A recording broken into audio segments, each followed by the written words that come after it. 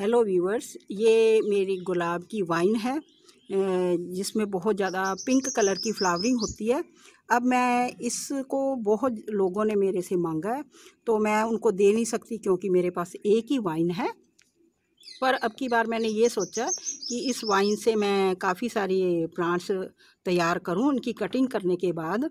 तो सो मैं आज इसकी कटिंग लेके जा रही हूँ और उसको मैं ग्रो करूँगी और उसके बाद मैं अपने वीवर्स के, को बांटूँगी।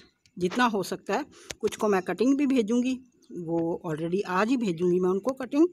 कटिंग करने के बाद और कुछ को मैं ये वाइन तैयार करने के बाद भेजूँगी। छः या सात इंच की हम कटिंग काट लेंगे। ये गुलाब की वाइन की कटिंग है और मैं अपने कई वीवर्स के यहाँ भेजूँगी। एक अमृतसर से है मेरे और अहमदाबाद और दिल्ली। कई मेरे वीवर्स ने मेरे से ये रिक्वेस्ट की है कि आप गुलाब की वाइन हमें ज़रूर भेजें और मैं इसको ग्रो भी करूँगी। पहले भी मैंने इसको ग्रो किया था, उसका रिज़ल्ट बहुत अच्छा निकला। अब मैं अपने ओनली अपने व्यूवर्स के से, के लिए ये ग्रो करूँगी।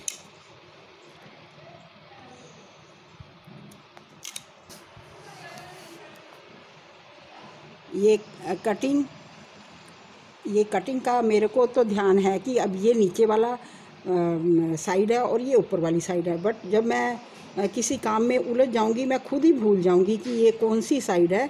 इसके लिए मैं ये नेल पॉलिश लगा के, एक तो इसका मॉइस्चराइज नहीं उड़ेगा, दूसरा ये एक निशान लगा रहेगा कि ये ऊपर वाली साइड हमारी कटिंग की है। इसी तरह से मैं सभी कटिंग पे, ऊपर वाली साइड पे नेल पॉलिश लगा दूँगी। वीवर्स को मैं ये कटिंग भेजूँगी।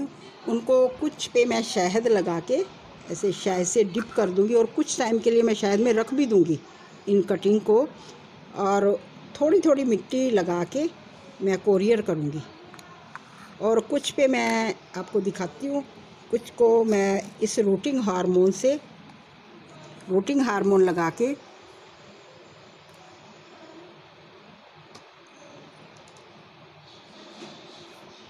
रूटिंग हार्मोन लगा के और यहाँ पे मेरी सॉयल तैयार की हुई है। थोड़ा सा मैंने इसमें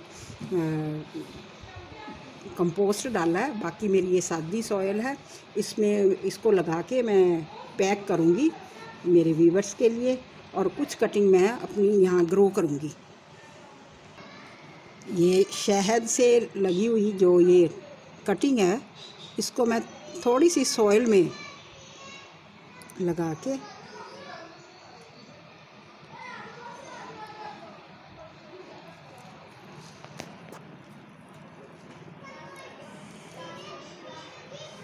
तरह से मैं काफ़ी सारी कटिंग तैयार कर लूँगी, जो मैंने अपने वीवर्स को भेजनी है, और कुछ कटिंग मैं अपनी इस सॉइल में लगा दूँगी। इसमें मैंने क्या किया आम सादा सॉइल लिया, और उसमें थोड़ा सा मैंने कंपोस्ट डाला है।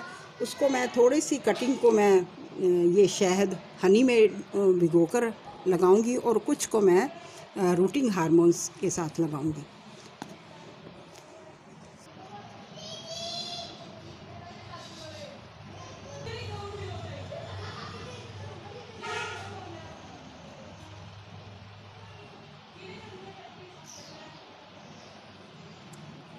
आप जो भी कटिंग लगाते हैं, उसको ढाई या तीन इंच के करीब आप सोयल में दबा दें और और कटिंग को जितना ज़्यादा हो सकता है आप दबा दें।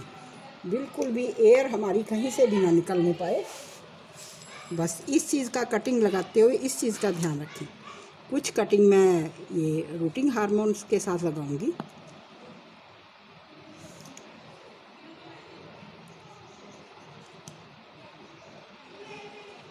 आप किसी टूल की सहायता से आप होल ज़रूर कर लें। इसका मतलब ये है कि हमारी जो कटिंग के टिश्यूज़ हैं, वो मत टूटें और कटिंग को आप अच्छी तरह से दबा दें।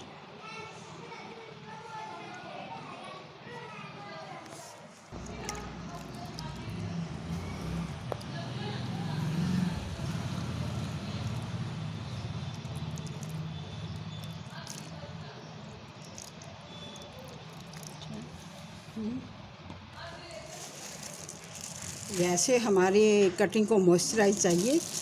अब मौसम में है मॉइस्चराइज पर फिर भी मैं इस पर अपनी सेफ्टी के लिए, ताकि हमारी, मेरी टहनियाँ ज़्यादा ग्रो हों, ये पोलाथीन लगा दूँगी, ताकि इस, इनका मॉइस्चराइज बना रहे, और इनमें मैं एक दो सुराख भी कर दूँगी। आप ये देख रहे हैं, ये सुराख किया हुआ है मैंने। ये सुराख किए हुए हैं। तो ऐसे सुराख करके एक जगह पे रख दूँगी और इसको आप छाया वाले प्लेस पे रखें। छाया वाले प्लेस पे रखेंगे और हमारा ये मॉइस्चराइज इसी पोलाथीन के लिफाफे में बना रहेगा। और बाकी जो मैं कटिंग है कटिंग भी भेजूँगी उनको। ये वीवर्स को मैक्सिकन पटूनिया के मोसरोज़ और कई तरह के बल्ब भी मैं उनको भेजूँगी। वो सभी मैं पैकिंग अब करने वाली हूँ उनके लिए। वो मैं मेरी वीडियो को आप ज़्यादा से ज़्यादा लाइक व शेयर करें और मेरे चैनल को ज़्यादा से ज़्यादा सब्सक्राइब करें। थैंक्स।